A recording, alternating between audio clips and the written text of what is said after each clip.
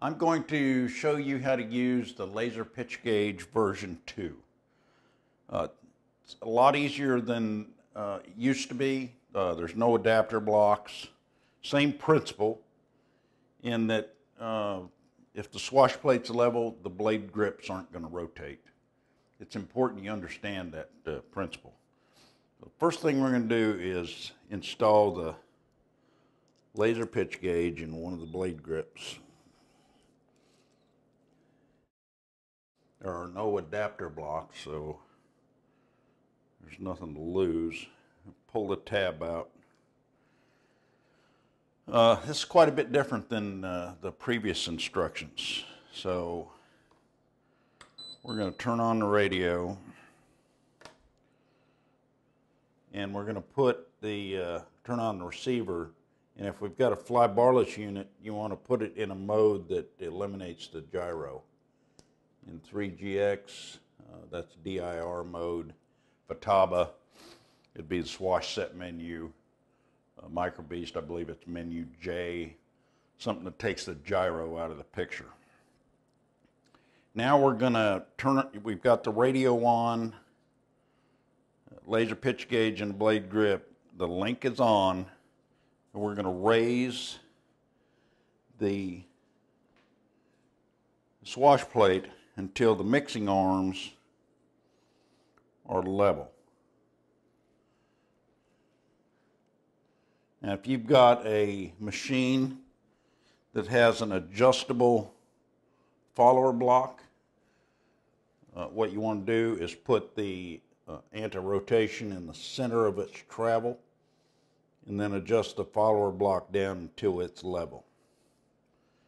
But this is uh, just to give us a little idea of where we want our dots or our marks to be. So we're going to mark that. We're going to readjust this later. Now remove a link from that blade grip that has the laser pitch gauge. You don't have to remove it completely, but it'll get it out of the way. And then take a small piece of painter's tape. In the videos before, I was using a pretty big piece. We want to use a small piece. And we want to line that up pretty close to where that mark is. You can tweak it and then just kind of pinch between the grip and the head block. Okay, that's close enough. And the first point we're going to mark is the the rear. And what I've done, I've taken a piece of paper and put my marks on it. That way my hand doesn't get in the way when I'm marking. So I'm going to go to the back here. We're in my kitchen. My kitchen's pretty long. So I'm going to put a mark right in the center of that dot. And then we're going to rotate 120 degrees. And we're going to line up the inner ball with the outer ball. And we're going to mark this point over here.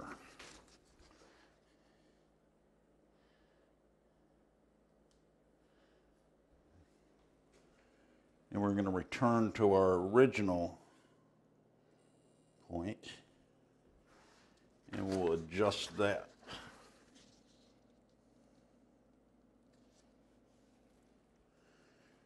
And now we'll come all the way around and make sure that our mark is exactly over the originals. And that's good. Now, hook the link back up.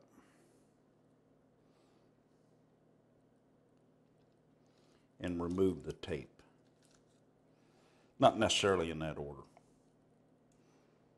You remove the tape. That's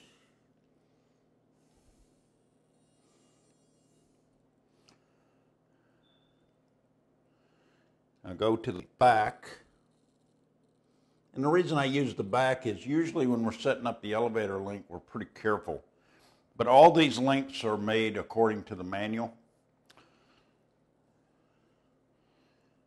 All right, we're going to raise the uh, dot until it's right on that mark.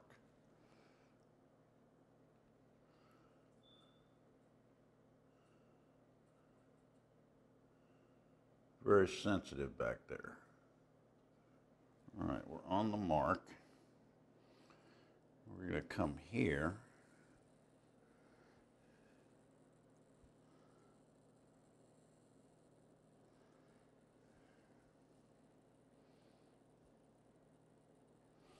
And we're going to use sub-trim or adjust our control rods depending on whether we're happy with the uh, way the control arms look.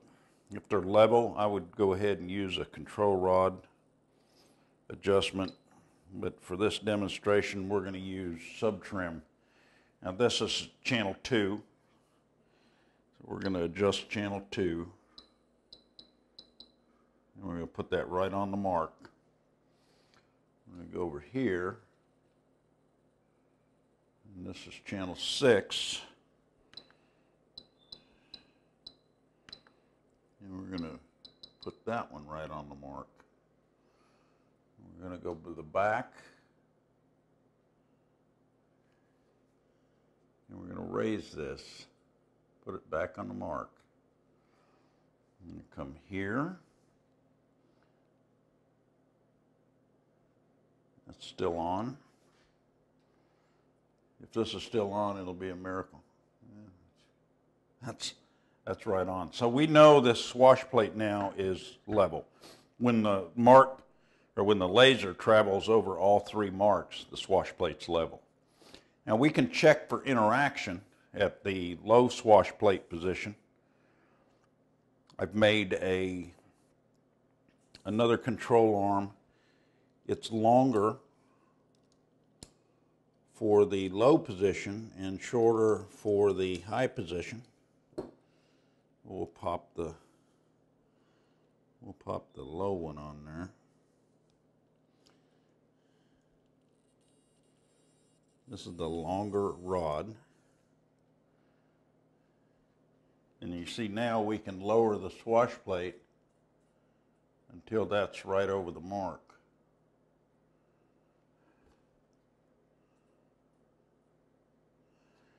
And then rotate it around and it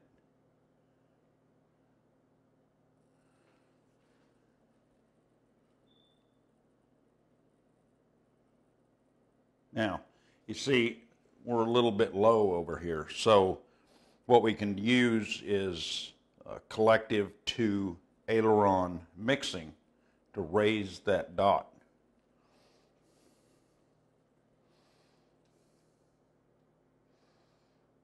Pretty good right there. We could use just a little bit.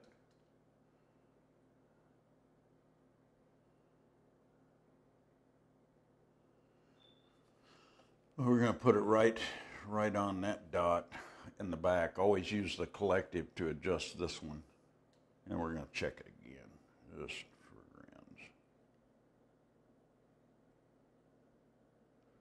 It's about an eighth inch high. That's about a tenth of a degree at this distance. And same here. So we've got just the tiniest bit of interaction it's probably not even worth fixing. You'd probably want to test fly the model and see if that's showing up in the flying. But if you're getting a big change, you definitely want to use some uh, collective to aileron or collective to channel 6 mix. Now we're going to pop a shorter link on and check the swash plate at high.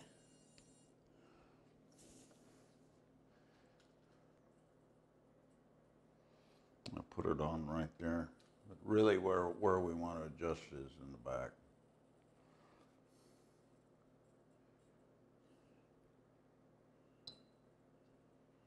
It's right on in the back.